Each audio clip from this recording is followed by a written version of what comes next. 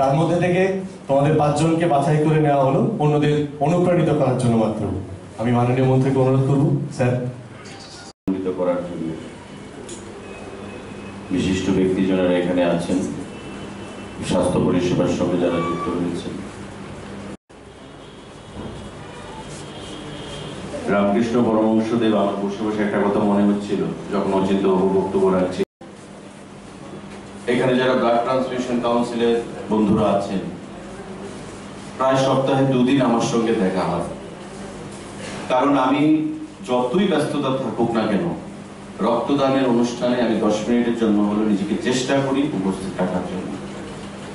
এবং যেখানেই যাই, অধিকাংশ জায়গায় তাদের সঙ্গে আমার দেখা হয়। গত তিন দিন আগে আমার বিধানসভা ক্ষেত্রে আমি নিজে রক্তদান করেছি। সেখানে ওদের সঙ্গে দেখা হয়েছে। না হয় আমাকে অচিন্তবাবু বলছিলেন জানার পর। যারে মিস করে ফেললাম, তুমি আমার এখানে রক্তদান করতে। আমি বললাম যে আমার বিধানসভাটা আগে, আমি তাই সেখানে আমি করেছি।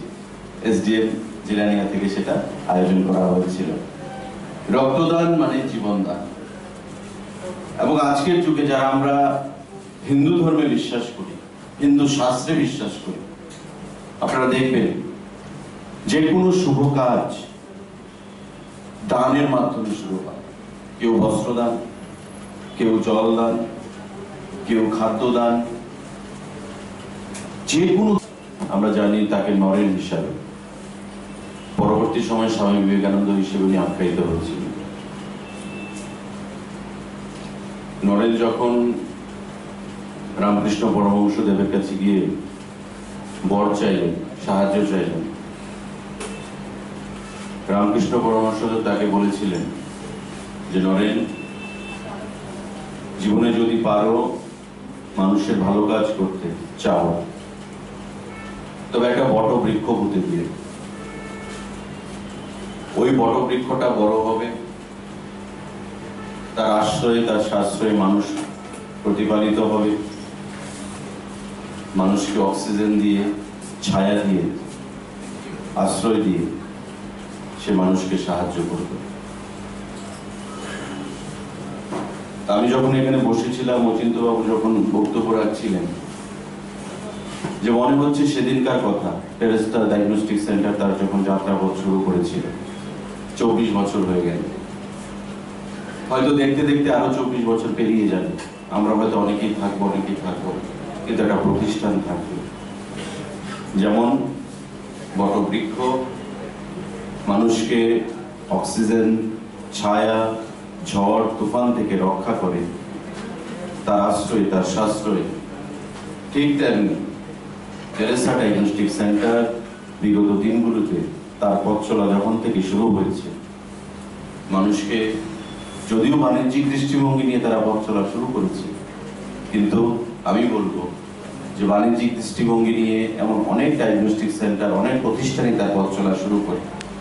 কিন্তু সামাজিক যে দায়বদ্ধতা মানুষের পাশে থেকে সমাজকে সুন্দর করার যে মানসিকতা এবং মানুষের জন্য কাজ করার যে চাহিদা, সেই দৃষ্টিভঙ্গি নিয়ে টেরেসা ডায়াগনস্টিক সেন্টার কাজ করে চলেছে। তাদের বাণিজ্যিক দৃষ্টিভঙ্গির বাইরে গিয়েও। আজকে বিভিন্ন সময় আমরা দেখতে পাই যে টেরেসা তার রক্তদান শিবির, বিভিন্ন সময়ে বিভিন্ন সাংস্কৃতিক অনুষ্ঠান, বিভিন্ন সময়ে সমাজের উন্নয়নমূলক কর্মসূচিগুলো এইগুলোর সঙ্গে জড়িত রেখেছে নিজেদেরকে। এটা তাদের যে উদ্যোগ, তার জন্য আমি ব্যক্তিগত তরফ থেকে এবং আমার সরকারের তরফ থেকে বিশ্বাস রাখি, আশা রাখি যে আগামী দিনেও আরও নতুন কিছু করার মাধ্যমে তারা রাজ্যের মানুষের পাশে, সমাজের পাশে, রাজ্যকে এগিয়ে নিয়ে যাওয়ার লক্ষ্যে তারা কাজ করে যাবে।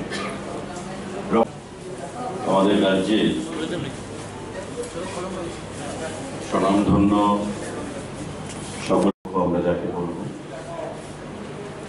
ডক্টর অচিন্ত ভট্টাচার্য এবং শ্রীমতী লিলি সেন। এই ডায়াগনস্টিক সেন্টার বা প্রতিষ্ঠানতম প্রতিষ্ঠা দিবস উপলক্ষে এই রক্ত রক্তদান শিবির। রক্তদান শিবিরের শুভ উদ্বোধন এর মধ্যে আমরা করেছি।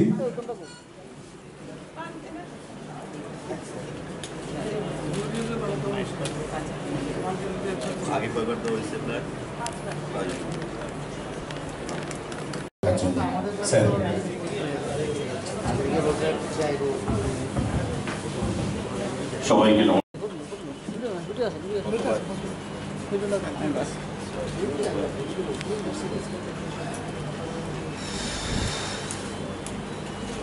চব্বিশতম প্রতিষ্ঠা দিবসের কর্মকাণ্ডের অঙ্গ হিসেবে বিনয় সেন এবারে রোহন পাল অনিমেষ বৈদ্য, সন্তোষ দেবনাথ, বিনয় সেন ও সুস্মিতা দাস। বিনয়কে দেখতে পাচ্ছি না। হ্যাঁ বিনয় রক্তদান করছে